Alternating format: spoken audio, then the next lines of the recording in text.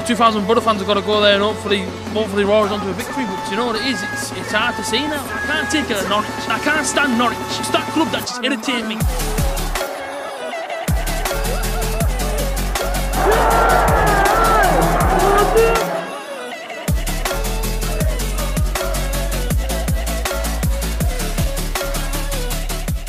Yo guys, what's going on? Welcome back to another video. Now I know during the international break there was no videos and I apologise.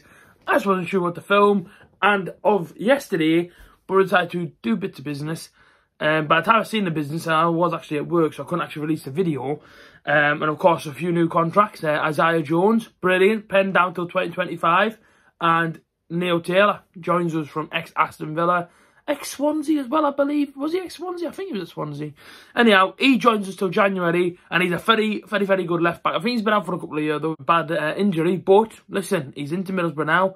He's going to get straight to work with Chris Wilder, and I'm excited to see how Neil Taylor does for Middlesbrough. Very, very good left back.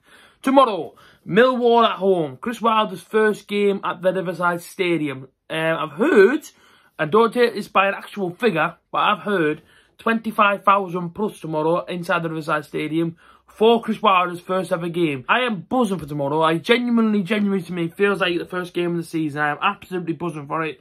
Chris Wilder is a top manager. And a lot of people who don't support Middlesbrough have already told me. And of course, I work with a lot of Sunderland fans. I work with a lot of Newcastle fans. And I've had the pleasure to tell me straight away, AJ, it won't happen. AJ will, AJ will take you the League One. Nonsense, forget all that. Chris Wilder's the top manager. And I believe, I do thoroughly believe he will do the business for us. If we back him and if we give him time, he'll be all right for Middlesbrough. But Millwall are playing well this season. Ninth beside the league table. Uh, go off the back of a 1-1 with Derby. Of course, we go off the back of a decent, actually really, really good draw with West Brom. A game that we could have won it in the first half. Could have had a few more in the first half. Carried on to the second half and maybe seen out the game. But we'll take the point in the off horns. It was a game that I think going into it, everybody kind of didn't want to go into it at all. Uh, I think everybody kind of doubted the Boro, uh, you know, given that West Brom are third, given that they've still got Premier League players within that team. I think everybody was a bit in fear of playing West Brom, but to be fair, you know, we rose to the challenge, we went there and, you know, ultimately got the points, so happy days. And uh, I look at it tomorrow against Millwall, and I don't think it'll be any different. I think it will be a tough game, and as I say every single week, inside this division, it's hard to call it because anybody can beat anybody and anybody can move up this league table very, very easily. I think we're 14th. If we win tomorrow, I think we can go 9th. It's, it's, it's, honestly, it's as crazy as that, you know what I mean? Always up and down side this league table. Consistency is the key. We all know that now. Consistency of results is absolutely the key to try and get up that league table and try and get any of the top spots. Uh, I'm not going to go too over the top of my head and say that Boro going to go up the season with Chris Wilder, but if it happened, I would love it, of course. I'm a Middlesbrough fan. I would love to see us back at the big time when we're ready. Uh, I think the team needs some more work done to it. I think if we're going to try and challenge at the top end of that table, we definitely need a few more bodies and a few more experienced bodies, a few more talented bodies as well, I'll be honest. To try and challenge, because I think, you know, you go to the Premier League, you get 100, 120 million to go to the Premier League with, and I still think, you know, I still think we need to build them before we go and spend that, you know, nice, nice money that they're going to give us.